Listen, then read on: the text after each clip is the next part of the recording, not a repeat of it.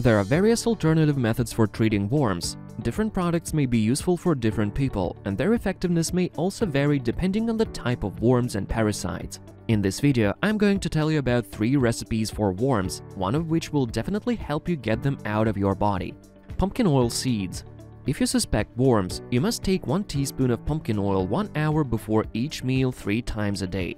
The therapy should last for 10 days. To increase the effectiveness of the treatment, you can also eat 200 grams of fried seeds per day. Contraindications to the use of these products are diarrhea, diabetes, and chronic skin diseases.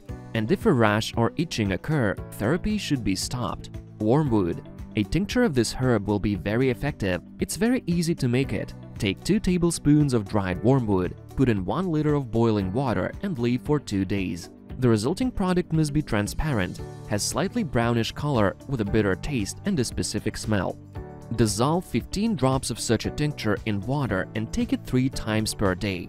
It's not recommended for women during menstruation and people with a weak vascular system. And if there's diarrhea, nausea, or stomach pain, taking wormwood should be stopped. Sauerkraut you need to drink half a glass of brine 30 minutes before each meal, and during the day you need to eat about 200 grams of sauerkraut.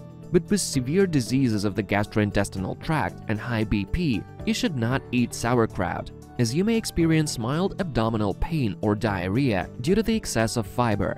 At the same time, it's better not to combine sauerkraut with other food and eat separately.